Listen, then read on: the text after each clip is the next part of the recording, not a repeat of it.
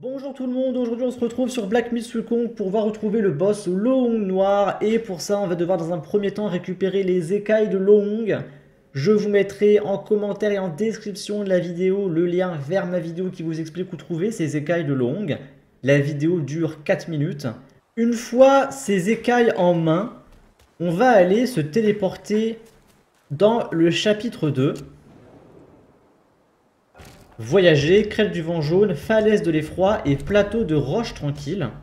Une fois arrivé, on va aller prendre les escaliers tout en haut à droite. Et là, on peut déjà apercevoir la cascade.